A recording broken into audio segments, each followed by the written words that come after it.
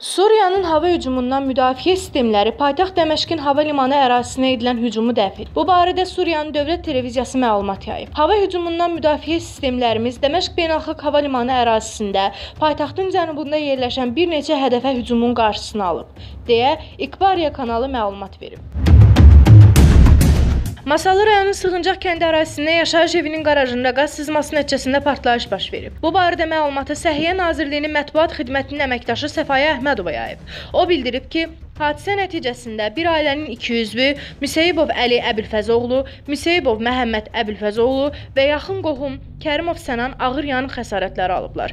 Dərhal hadisə yerinə gələn Masallı rayon təcili yardım xidməti tərəfindən yanan şəxslər xəstəxanaya çatdırılıb. Lazımi ilkin reanimasyon yardımlardan sonra hər biri təcili yardım maşınları ilə Respublika Yanıq Mərkəzinə gətirilib. Mərkəzin mütəxəssisləri tərəfindən konsilium təşkil edilib.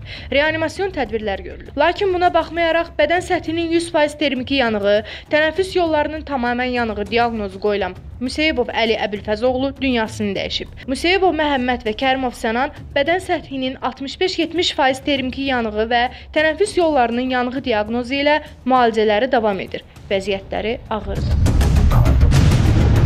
Bakıda Türkiyə vətəndaşı küçədə ölüb. Hadisə paytaxtın Nəsim rayonu ərazisində baş verib. Ölüm hadisəsi Bülbül prospekti ilə Tolstoy küçəsinin kəsişməsində Boz klub gecə klubunun qarşısında baş verib. Türkiyə vətəndaşı Qaradağ rayonu sahil qəsəbəsi Seyidov küçəsi ev 1, mənzil 51-də müvəqqəti qeydiyyatda olan Rəcbər Taner Bakı şəhər sakini İsmailov Zaur Zabiroğlu ilə birlikdə paytaxtda Krevetka pub kafesində pivə içiblər. Daha sonra onlar sərxoş vəziyyətdə Bülbül prospekti ilə Tolstoy küçəsinin kəsişməsindəki Boz kluba gələrək orada spirtli içki qəbul ediblər. Bir müddətdən sonra Taner klubda özünü pis hiss edib və dostundan onu havaya çıxarmağı xahiş edib. Küçəyə çıxan Taner bir neçə dəqiqədən sonra keçinib. Faktla bağlı Nəsim rayon prokurorluğunda araşdırma aparılır.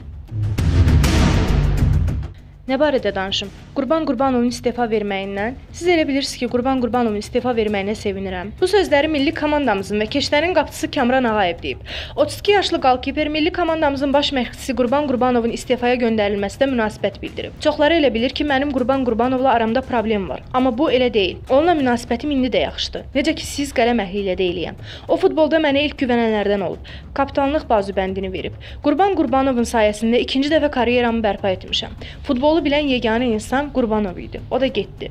Qeyd edək ki, Kamran Ağayev yığmamızın Farer adaları ilə oyununda zədə alıb və Kosovo səfərinə öz istəyi ilə yollanmayıb. Təcrübəli qolkiper bu hərəkətinə görə tənqidlərə məruz qalıb.